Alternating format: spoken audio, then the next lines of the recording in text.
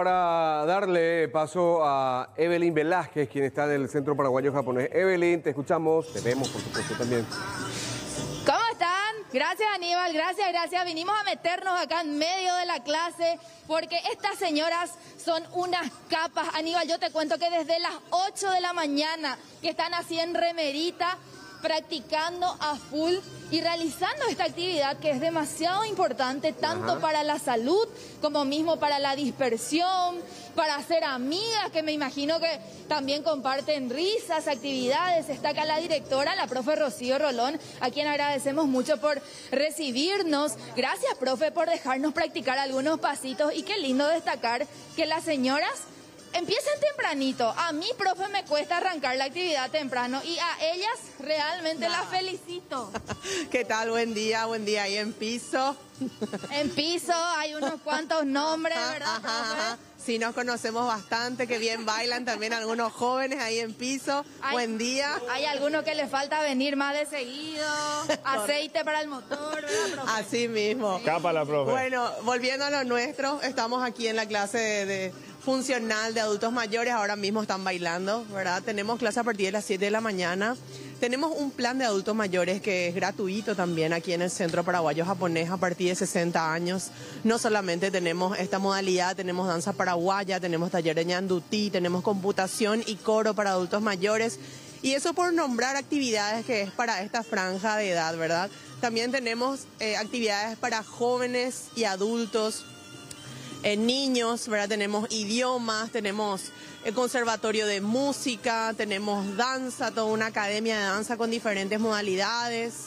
Eh, tenemos también pintura al óleo, eh, dibujo, así que claro, aquí el Centro Paraguayo Japonés para el Desarrollo de los Recursos Humanos, como reza su lema, está con actividades de lunes a viernes. Eh, mayormente se concentra las actividades a partir de la siesta. A la mañana le tenemos eh, solamente los adultos mayores.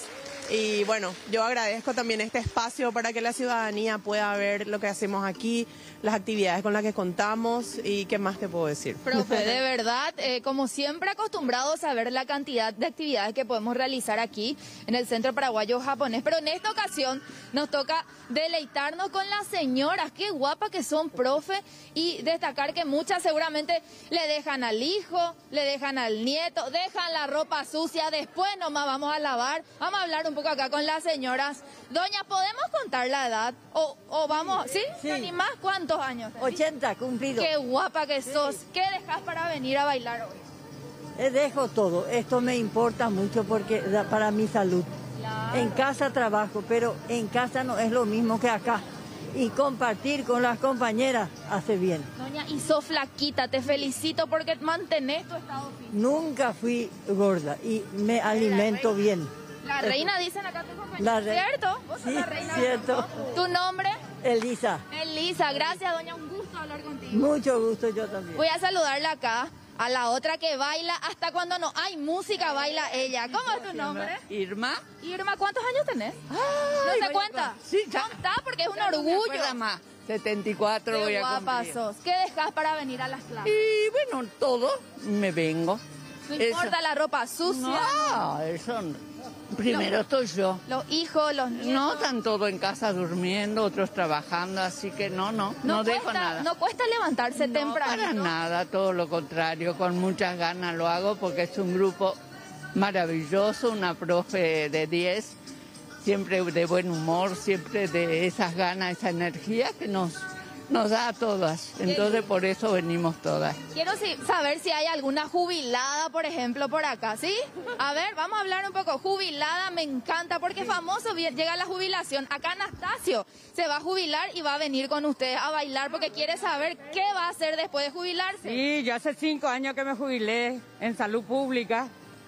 Tengo 68 años, pero me encanta estar en este lugar, compartir con mis compañeras, bailar sobre todo.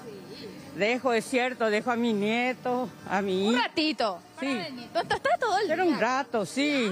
Después volver a ser la multifacética. Mamá, abuela, les felicito demasiado, profe. Entonces, también eh, seguramente más mujeres que están viendo pueden sumarse y les invitamos. Totalmente, quiero aportar un poco a lo que estuviste preguntando, ¿verdad? Que dejan familia para venir a pasar un tiempito. También hay muchas personas que ya están solas a esta edad, entonces este es un espacio muy importante donde vienen a cultivar amistad. eh, prácticamente de lunes a sábado hay actividades acá para adultos mayores, el coro es numeroso, es precioso, tiene clases los sábados. Claro, las, las inscripciones están abiertas todo el año, las actividades para adultos mayores en su mayoría son gratuitas y nada, nada más que invitarles y bueno, proyectarse también eh, a tener una, una vejez saludable y digna. Buenísimo, gracias directora, la profe Rocío Rolón, está acá la otra profe y las señoras, unas capas chicos, vamos a estirarle Chiche, Aníbal, Edwin, Freddy Aplausos. también van a venir a practicar con nosotros. Ahí estaremos. Aplausos, ¿eh?